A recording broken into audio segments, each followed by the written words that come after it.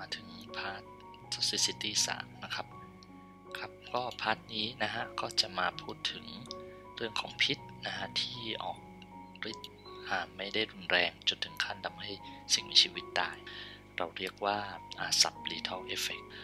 จากภาพก็เห็นนะครับบางครั้งพิษที่มีความเข้มข้นที่ไม่สูงมากนัก แต่ว่าถ้าสิ่งมีชีวิตเจอ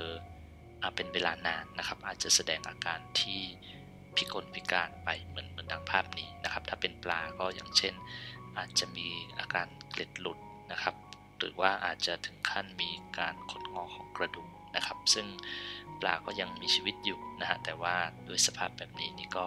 อาจจะอยู่ลำบากขึ้นนะครับ คราวนี้ subliminal effect เนี่ยมีความค่อนข้างกว้างนะครับ เพราะว่าเราสามารถศึกษาได้ตั้งแต่ระดับ morphology ไปจนถึง ระดับ behavior เลยนะครับ ถ้าเกิดเป็นความผิดปกติเชิง morphology ก็อย่างเช่น การที่อาจจะมีแกนบางอย่างเติบโตมากกว่าปกติ หรือว่าอวัยวะบางอย่างหายไปนะครับอันนี้ก็เป็นความผิดปกติทาง morphology ที่พอเห็นได้ชัดนะครับ อันที่2นะฮะอาจจะเกิดความผิดปกติทาง physiology ก็ได้ ถ้าลงมาระดับ physiology อย่างเช่น ระบบการสื่อประสาทที่อาจจะผิดปกติไปนะครับ อย่างเช่นถ้าสิ่งมีชีวิตเจอพวกฤทธิ์พวกยาฆ่ามาแมลงเนี่ยนะครับเรื่องของระบบประสาทนี่ก็จะเปลี่ยนไปจากเดิมนะครับ หรือว่าสภาพของเลือดนะครับ ซึ่งอาจจะมีการเปลี่ยนแปลงไปนะครับ อันสุดท้ายนะฮะเป็นเชิงของพฤติกรรมนะครับบางครั้งความผิดปกติทั้งหลายเหล่านี้นะฮะสิ่งมีชีวิตแสดงออกมาเชิงพฤติกรรมนะครับ อย่างเช่นถ้า น้ำเริ่มเสียออกซิเจนเริ่มต่ำนะครับปลาก็อาจจะมาที่ผิวน้ำนะครับ เพื่อที่ต้องการแก๊สที่มีออกซิเจนมากขึ้นนะครับ ดังนั้นอันนี้ก็เป็นการสะท้อนภาพเชิง behavior ก็สามารถถ้าเป็นปลานะฮะเราสามารถใช้วิธีการทางสรีรวิทยาในการตรวจสอบนะครับสิ่งที่เปลี่ยนแปลงไปในปลานะครับ ไม่ว่าจะเป็นศึกษาเรื่องของระบบ cardiovascular นะครับเรื่องของระบบที่เกี่ยวข้องกับหัวใจ แล้วก็ท่อลำเลียงทั้งหลายนะครับ อย่างเช่น heart rate อาจจะเปลี่ยนเรื่องของปริมาณฟอสเฟตในเส้นเลือด artery นะครับเรื่องของการที่เขาไอหรือจามเปลี่ยนไปนะครับ อาจจะบ่อยขึ้นนะครับ เรื่องของ operculum นะฮะที่ปิดหรือว่าเรื่องของความดันในปากนะครับ เรื่องของ ventilation volume นะฮะแก๊สที่เขาเอาเข้าใน gill ในร่างกายของเขา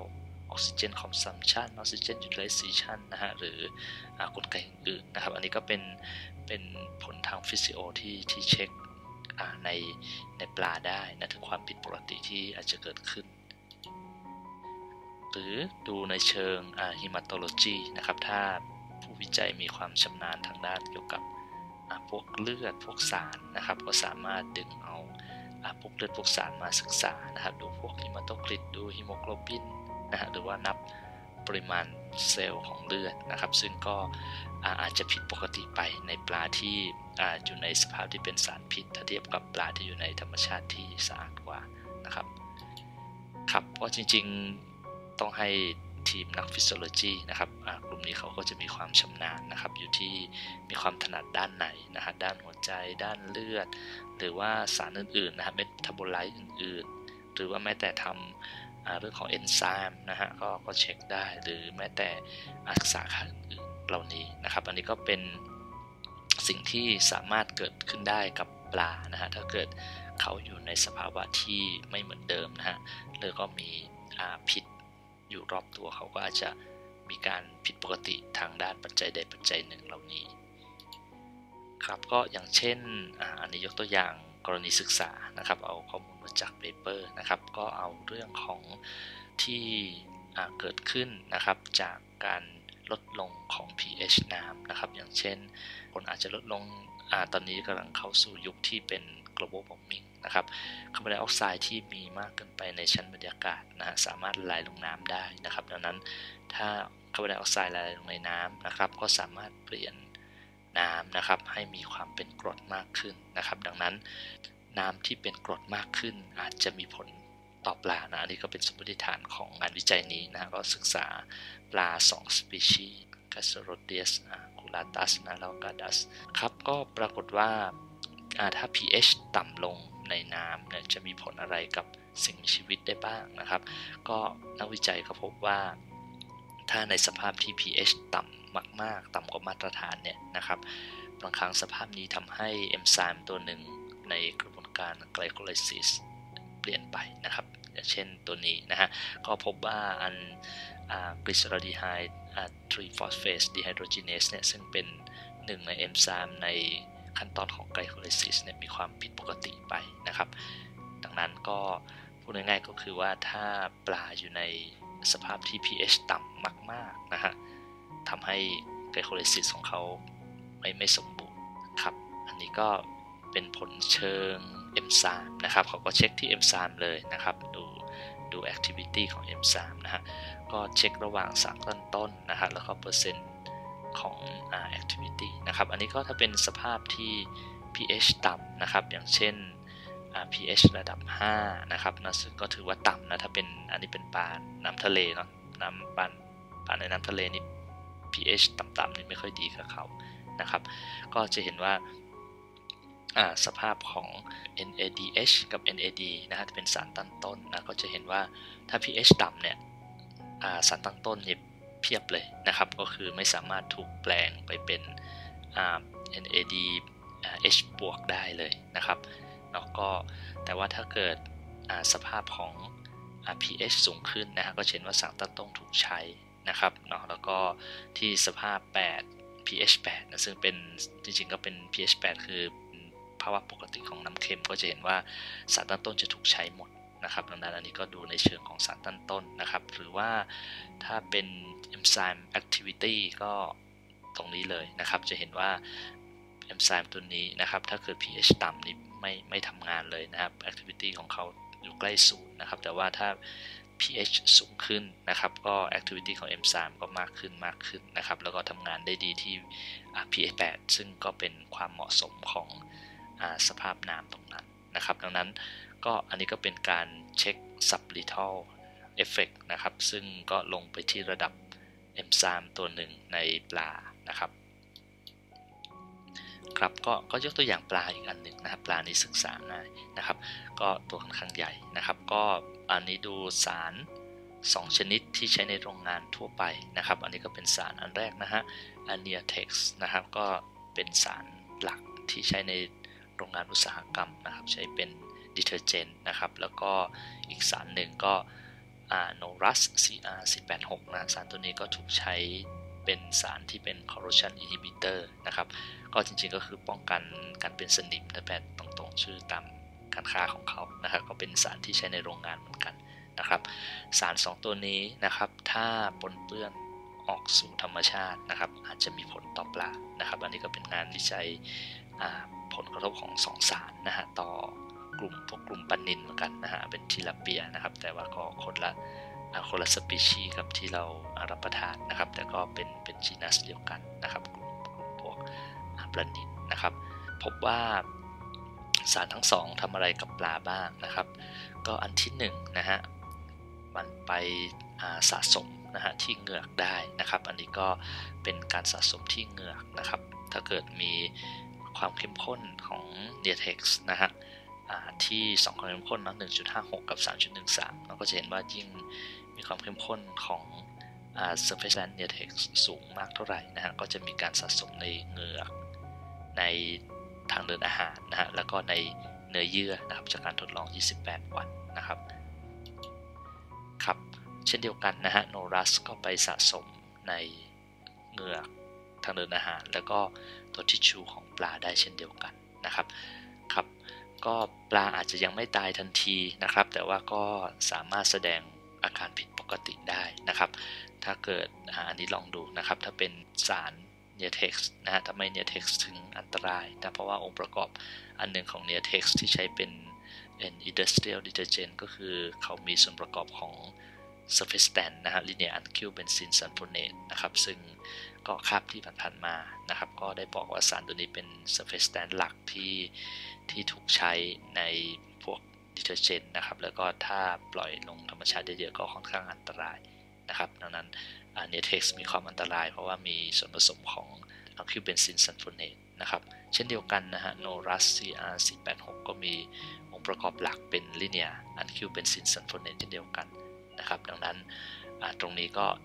เป็นตัวที่ออกฤทธิ์กับสิ่งมีชีวิตนะครับ สาร surfactant เหล่านี้นะครับ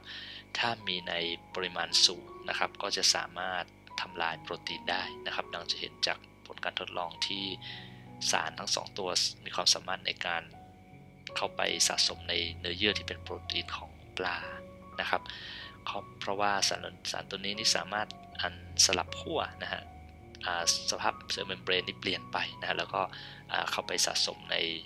สิ่งมีชีวิตนะครับ ถ้ามีน้อยๆคงไม่เป็นไร แต่ว่าถ้ามีมากขึ้นมากขึ้นนะครับ ก็จะมีความอันตรายตามลำดับอย่างเช่น อาจจะมีผลต่อการเติบโตนะฮะลดการเติบโตของปลานะครับ เปลี่ยนอาจจะทำให้นิสัยการกินเปลี่ยนไปนะครับ แล้วก็อาจจะถึงขั้นรบกวน chemoreceptor ในบางอวัยวะของเขานะครับนั่นนี่ก็เป็นเป็นการ discuss ผลนะฮะแล้วก็แสดงให้เห็นว่า สารหลายชนิดที่เป็นสารพิษเนี่ยมันสะสมอยู่ในตัวปลาได้นะครับ ปลาอาจจะไม่ตายแต่ว่าถ้ามีเยอะๆเขาอาจจะแสดงความผิดปกติออกมาให้เราเห็นครับอันนี้เมื่อกี้เป็น case study จากเปเปอร์นะครับ คราวนี้เราลองมาดูนะครับว่า sublethal toxicity นี้เขาสังเกตตรงไหนนะครับ อันที่1นนะฮะก็คืออาจจะมีสับมานะฮะ NOEC นะ no observed effect concentration นะครับ อันนี้ก็คือแปลตรงตัวก็คือความเข้มข้นนะฮะที่ปลาพอจะทนได้แล้วก็เรายังไม่สังเกตเห็นนะครับ อย่างเช่น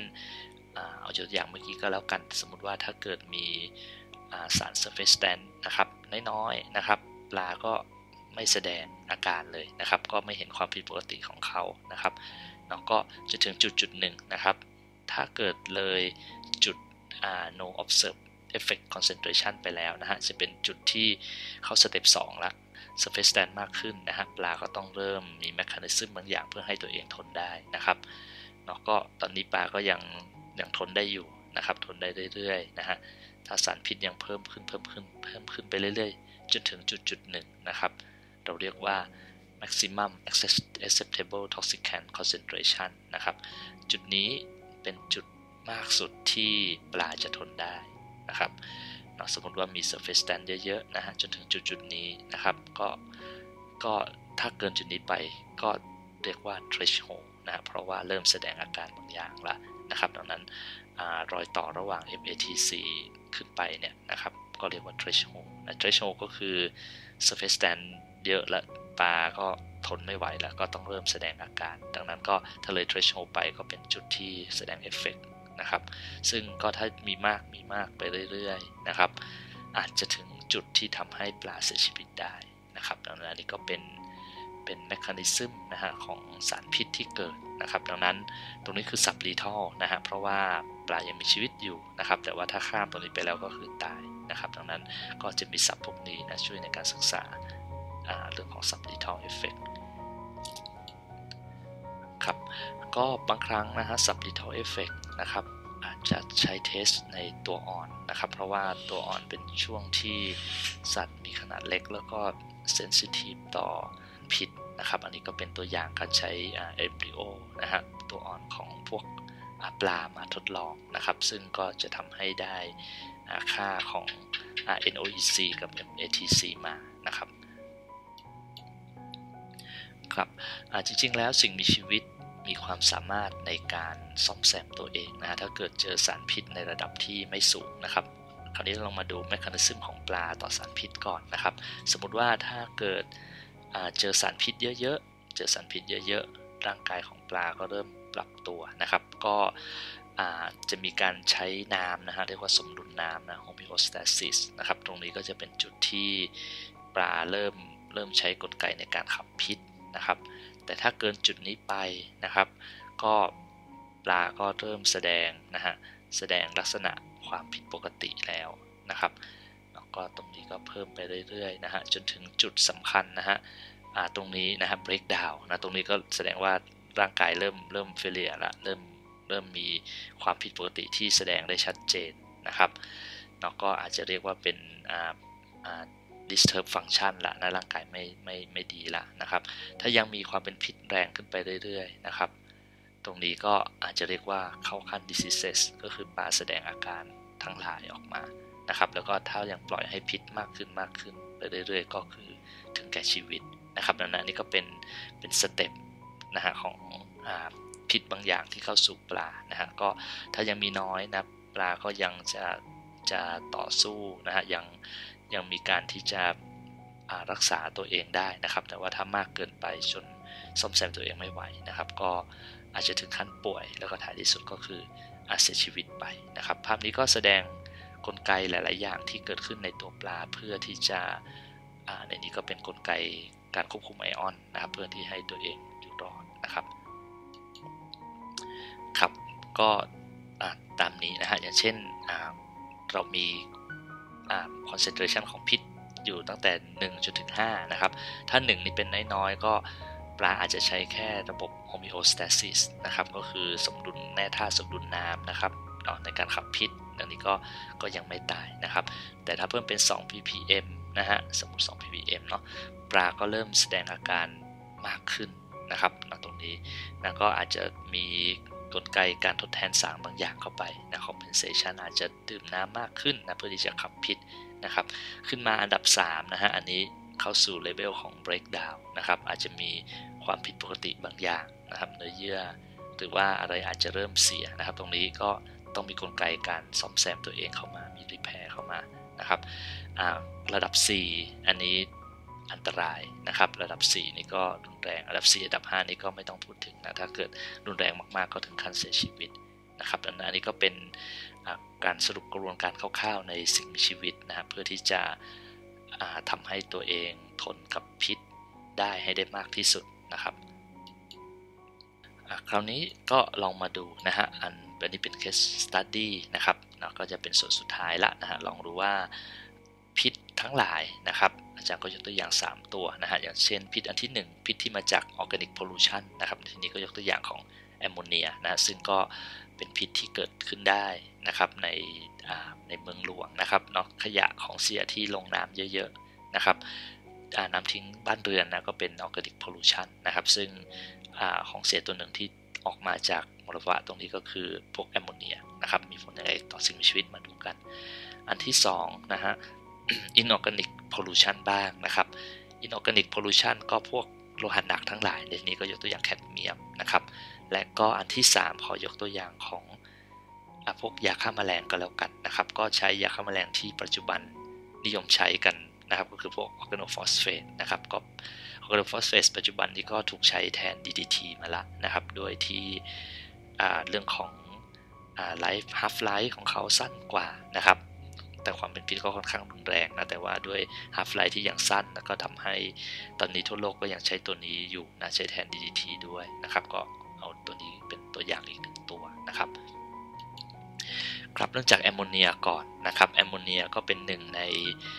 พิษที่เกิดได้จากน้ำเสียในชุมชนนะครับ ก็จะเห็นว่าแอมโมเนียนะฮะมีพิษต่อ rainbow trout นะจากการทดลอง LC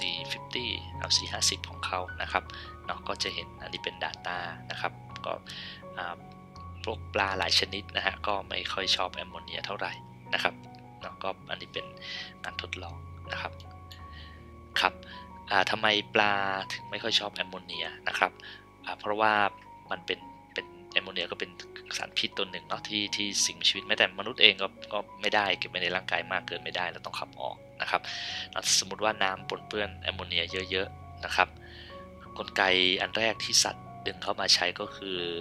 อการปัสสาวะนะพยายามขับแอมโมเนียออกให้ได้มากที่สุดนะครับ ดังนั้นการปัสสาวะบ่อยขึ้นนะครับ ก็เป็นส่วนหนึ่งของ sublethal effect นะฮะเพราะว่าปลาเริ่มไม่ปกติละนะปลาฉี่ปลาปัสสาวะบ่อยขึ้นนะแสดงว่าร่างกายเริ่มเริ่มมีปัญหานะครับสมมุติว่า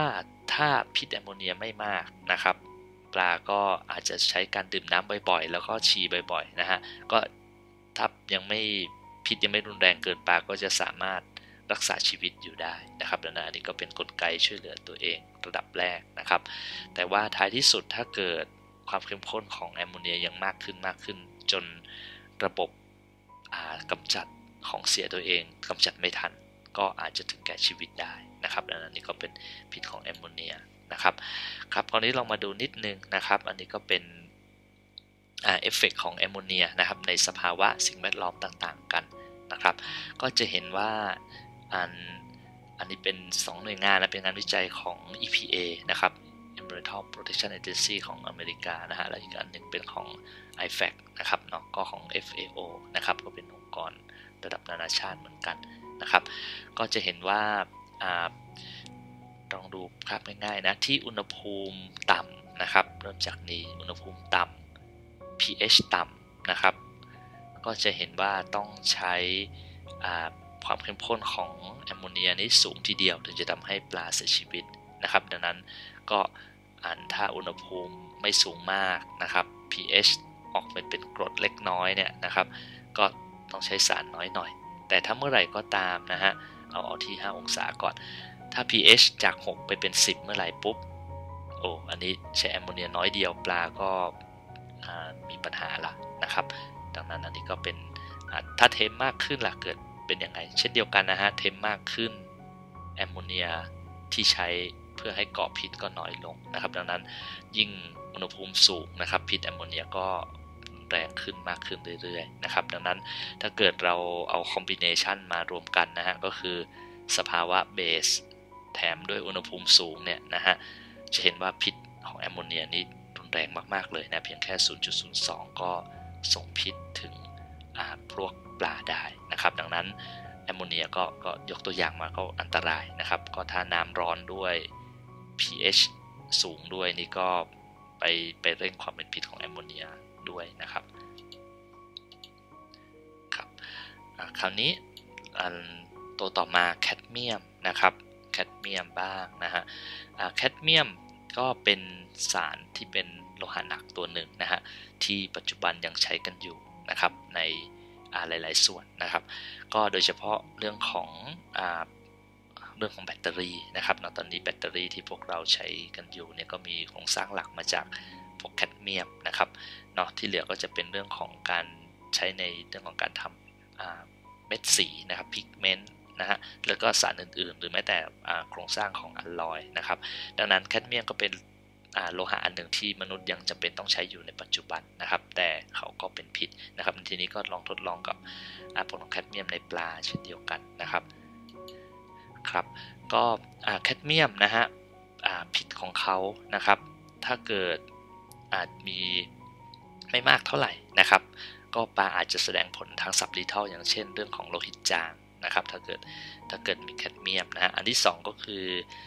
ปลาอาจจะกระดูกผุกระดูกพรุนไปนะครับ ดังนั้นเหมือนเหมือนภาพตอนต้นของคลิปนะที่ปลากระดูกไม่ค่อยสมบูรณ์ก็อาจจะเป็นพวกแคดเมียมนะครับดังนั้นถ้าปลากระดูกพรุนปุ๊บโครงกระดูกมันก็ไม่สมบูรณ์นะฮะปลาก็ร่างกายอาจจะขดงอนะครับ อีกที่หนึ่งที่แคดเมียมเข้าไปทำลายปลาได้ก็คือระบบทางเดินทางเดินหายใจนะครับ ก็เข้าไปทำลายถุงลมเข้าไปทำลายโครงสร้างตรงนี้ได้นะครับดังนั้นอันนี้ก็เป็นผลของแคดเมียมที่มีต่อ anatomy กับ physiology ของปลานะครับครับ ถ้ามันหยุดอยู่แค่ปลาก็ดีนะ แต่ว่าไม่ใช่นะครับ ปัจจุบันปัญหาที่มนุษย์เราเจอก็คือ เรื่องของการถ่ายทอดโลหะหนักจากปลามาสู่ผู้บริโภคขั้นสูงนะครับ ไม่ว่าจะเป็นนก หรือแม้แต่มนุษย์เองนะครับ ดังนั้นจะเห็นว่าโรคที่เกิดจากแคดเมียมนะฮะเกิดจากการที่มนุษย์ทานปลานะฮะแล้วก็ค่อยๆสะสมแคดเมียมมาเรื่อยๆนะครับเช่นเดียวกันถ้าเป็นนกนะฮะนกที่ทานปลาที่มีแคดเมียมเยอะๆนะท้ายที่สุดมันก็เอฟเฟกก็จะส่งต่อนนกนะครับ ก็ทำให้นกเกิดอาการคล้ายๆกันนะคล้ายๆกับ การสะสมแคดเมียมในปลานะครับก็ถึงแก่ชีวิตได้ถ้าเกิดสะสมแคดเมียมในร่างกายมากขึ้นมากขึ้นเรื่อยๆนะครับนกด้วยมนุษย์ก็เจอผลเช่นเดียวกันได้นะครับ คราวนี้เราลองมาดูนะครับว่าจริงๆแล้วนะฮะถ้าเกิดแคดเมียมเข้าไปในร่างกายของสิ่งมีชีวิตแล้วมีชีวิตจริงๆ มีกลไกแรกก็คือกลไกป้องกันตัวเองนะครับ อันนี้ก็ยกตัวอย่างนะฮะสาร ที่ถ้าเกิดเรามีแคดเมียมเข้าไปนะเอนไซม์พวกนี้จะเป็นเอนไซม์ที่ช่วยเหลือในการกำจัดแคดเมียมนะครับเอนไซม์พวกนี้จะอยู่ในโครงสร้างของไตแล้วก็ตับของปลานะครับ ก็ถ้าแคดเมียมไม่มากเท่าไหร่นะครับลำพังเอนไซม์4 5ตัวนี้ก็พอที่จะลดพิษของแคดเมียมไหวนะครับ แต่ว่าถ้าแคดเมียมมากมากจนเกินไปคราวนี้ก็ก็ปลาก็อาจจะ แสดงอาการนะเพราะว่าเอนไซม์พวกนี้ก็อาจจะไม่สามารถกำจัดแคดเมียมได้หมดนะครับไปจากร่างกายครับคราวนี้นะครับได้รู้จักแอมโมเนียได้รู้จักแคดเมียมละคราวนี้มาดูในยาฆ่ามาแมลงบ้างนะครับนะเมื่อที่อาจารย์เกริ่นไว้นะครับออร์แกโนฟอสเฟตนะครับหรือ OPs นะหนึ่งในยาฆ่ามาแมลงนะที่ยังเป็นที่ใช้งานทั่วโลกอยู่นะครับ ก็ยาตัวนี้นะครับออกฤทธิ์ทำลายแมลงก็จริงนะครับ แต่ว่าก็เอฟเฟกกับพวกปลาได้เช่นเดียวกันนะครับ อันนี้ก็ลองงานวิจัยนี้เขาก็อยากศึกษาพิษของ methyl parathion นะ ซึ่งเป็นหนึ่งในออร์แกโนฟอสเฟสนะฮะต่อเอนไซม์บางตัวในตัวปลานะครับ ก็ก็เอนไซม์ตัวนี้นะครับ เราลองมาดูผลการทดลองกันนะครับครับออร์แกโนฟอสเฟตนะฮะ target ของยาฆ่าแมลงตัวนี้นะก็คือ บริเวณที่เป็น synapse นะครับแล้วก็ synapse ก็คือรอยต่อระหว่างเส้นประสาท อาจจะเป็นเส้นประสาทกับเส้นประสาท หรือว่าเส้นประสาทกับกล้ามเนื้อ หรือว่ากับออแกนตรงไหนก็ได้นะครับการถ่ายโอนกระแสประสาทจากแอ็กซอนตัวหนึ่งไปที่ปลายทางนะฮะเราจะผ่าน gap ตรงนี้นะช่องว่างนะฮะซึ่งจำเป็นจะต้องใช้สารสื่อประสาทหรือ neurotransmitter นะซึ่งสารสื่อประสาทหลักก็คือ อะเซทิลโคลีนนะครับดังนั้นถ้าเกิดร่างกายเราปกติเนี่ยนะครับอะเซทิลโคลีนก็จะถูกส่งจากแอ็กซอนนะครับไปสู่เป้าหมายนะครับก็เป็นการส่งสัญญาณข้อมูลมานะครับ พออะเซทิลโคลีนทำงานเสร็จนะครับ ก็จะมีเอนไซม์ตัวหนึ่งก็คือ acetylcholinesterase คอยอคอยทำลายอะเซทิลโคลีนที่ใช้งานแล้วนะครับ ก็ทำให้อะเซทิลโคลีนแตกเป็นอะเซทิลบวกโคลีนนะครับ ผลก็คือ การกระตุ้นก็จะหยุดลงนะครับ ดังนั้นอันนี้เป็นระบบมาตรฐานของสิ่งมีชีวิตที่ใช้ระบบประสาทนะครับ มนุษย์เราจริงๆ ก็ใช้ acetylcholinesterase ในการเป็นตัวหนึ่งในการ regulate กลไกการนำกระแสประสาทเช่นเดียวกัน คราวนี้เอฟเฟกของยาฆ่ามาแมลงออร์แกโนฟอสเฟตเนี่ยมันคือเอนไซม์ตัวนี้นะครับ ดังนั้นนะฮะถ้าสมมุติว่ามีออร์แกโนฟอสเฟสนะครับ แล้วก็สิ่งมีชีวิตโดนสารตัวนี้ปุ๊บเอนไซม์ตัวนี้จะไม่ทำงานนะครับ พอเอนไซม์ไม่ทำงานปุ๊บ ก็เกิดการสะสมของอะเซทิลโคลีนนะครับ ดังนั้นพูดง่ายๆก็คือ พออะเซทิลโคลีนไม่แตกตัวปุ๊บ การกระตุ้นก็จะเกิดอย่างต่อเนื่องนะครับ หรือว่าอาจจะเรียกว่า an over stimulus นะครับเรากระตุ้นกันอยู่นั่นแหละนะครับนั่นเพราะว่ามันไม่มีตัวทำให้ อะเซทิลโคลีนนี่แตกตัวนะครับ ผลก็คือถ้ากระตุ้นมากๆ สิ่งมีชีวิตก็ก็ทนไม่ไหวครับเนาะอันนี้ก็เป็นอาการออกฤทธิ์คร่าวๆของออร์แกโนฟอสเฟตนะครับนะครับเนาะอันนี้ก็มันมายับยั้งเอนไซม์ตัวนี้ พอยับยั้งเอนไซม์ตัวนี้ปุ๊บอะเซทิลโคลีนก็ไม่แตกตัวนะครับเกิดอาการ overstimulus นะครับ ซึ่งถ้ามีน้อยๆนะครับปลาก็อาจจะ มีความผิดปกตินะครับ การกระแสประสาทกระตุ้นตลอดเวลานะฮะอาจจะเช็คเอนไซม์ของเขาได้นะฮะเช็คเอนไซม์ก็ก็จะเห็น sublethal effect นะซึ่งถ้าเหตุการณ์นี้ยังเกิดขึ้นเกิดขึ้นไปเรื่อยๆนะท้ายที่สุดอาจจะนำไปถึงขั้นเสียชีวิตได้นะครับครับปลานะฮะเราจะเห็นว่าลำพังเองนะฮะปลาก็มีกลไกการกำจัดออร์แกโนฟอสเฟตเช่นเดียวกันนะครับ ซึ่ง ก็ตาม paper นะเขาก็พบว่าในร่างกายของสิ่งชีวิตนะในร่างกายของปลานะครับ มีสารอยู่ 2 ตัวเอนไซม์2ตัวที่ช่วยในการ